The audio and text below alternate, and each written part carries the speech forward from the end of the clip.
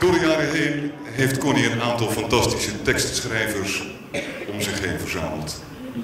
Een van hen is Herman Pieter de Boer. Daarvan hebben wij een prachtige compilatie, compilatie voor u samengesteld, waarnaar u nu kunt gaan. Weet je wat we doen? We blijven lui vandaag.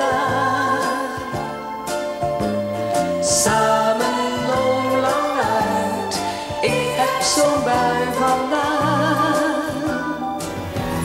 Soms vlucht ik terug naar lang geleden, naar autopet en pygmee, naar strik in het haar en schortje voor, naar dagje uit en kinderkoor. Een zomermiddag aan de zee, een meisje speelt er heel tevreden. Haar ouders dichtbij, alle twee. Soms wil ik weer dat meisje zijn. In de crazy cocktailbar aan de strandbad boulevard speelde in die tijd een damesorkest. Slow fox, tango, swing en sweet, alles kon maar één ding niet. Flirten met de girls van het orkest.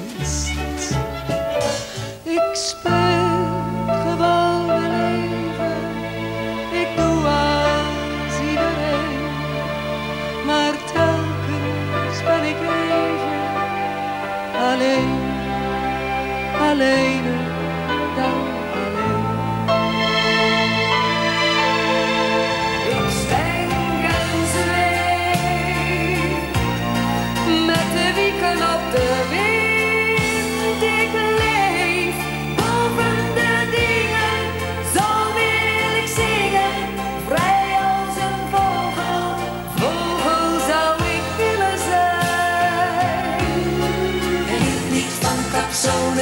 bombari.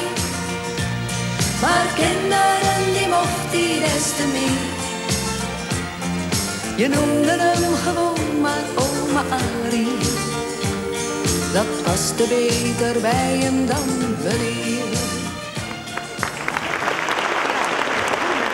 Ik wou voor de vuist wat vertellen over Connie en hoe dat was om liedjes met haar te maken. Het was ongewoon bijzonder interessant. Vooral om hoe zij was al. Hoe zij bijvoorbeeld de studio binnenkwam. In een sneeuwwitte outfit. Met knalrode schoenen. En een knalrood lakcentuurtje. Het was gewoon om eventjes te oefenen om een liedje in te zingen. En eh, hoe zij zorgde dat het liedje er kwam. Zij was iemand die eigenlijk uitging van de muziek. Dus daar had ik er eigenlijk niets over te vertellen. Zij kwam aan met stukken en zei ze, kijk, dit vind ik nou mooi. En het was Frans of Italiaans vaak, ook wel Amerikaans. En eh, dan zei ze, nou zie maar wat je daarvan maakt. Wat, wat, wat wou je erop hebben? Nou, je kent me toch, zei ze dan. Denk maar aan mij. En dan ging ik met die muziek naar huis. Ik woonde toen in een huisje in Friesland. En boven op zolder zat ik dan te werken. En dan draaide ik dat nummer af en dan dacht ik, ja, Connie. En eh, wat nou? En er zat in een van die liedjes, zat, het heette later de Dametjes de Boer. Dat, er zat een woord en ajour zat erin. Ik dacht, dat is toch iets met uh, handwerken? En toen heb ik het liedje geschreven van twee dames die een handwerkwinkel hadden. Die heette de Dametjes de Boer. En uh, dat heeft ze gezongen, dat vond ze leuk. En toen kwam ze op een dag met een liedje, een Frans liedje. En daar was de eerste regel van...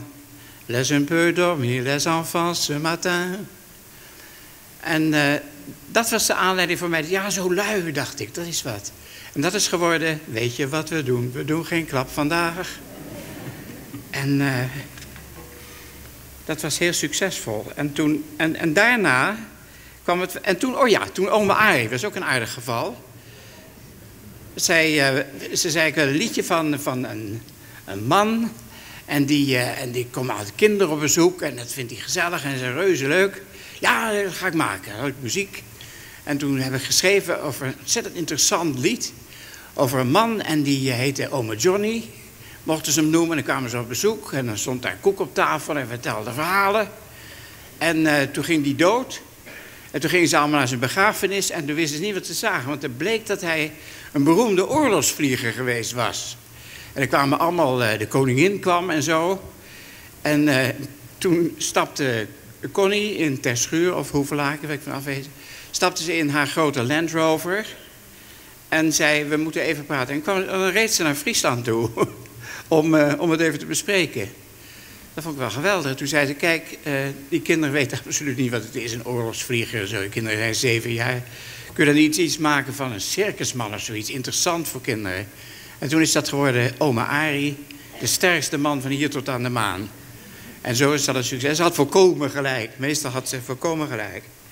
Ik vond het interessant dat ze dus... Uh, dat ze dus een hele gemengde, innerlijk gemengde vrouw was. Ze was ook soms heel melancholiek. Soms ook wel droevig. En soms was ze vreselijk vrolijk. En uh, al die stemmingen heb ik meegemaakt. En uh, het is wel zo. Ik denk wel eens aan uh, Connie Froboes. Ik denk ook wel eens aan Connie Breukhoven. ik denk ook wel eens aan Connie Francis. En soms denk ik ook wel eens aan Connie Mus. Maar ik denk eigenlijk alleen maar elke dag